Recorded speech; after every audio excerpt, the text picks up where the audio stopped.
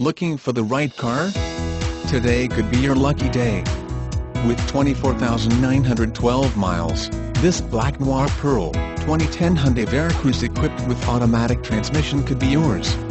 Request more information and set up a test drive right away.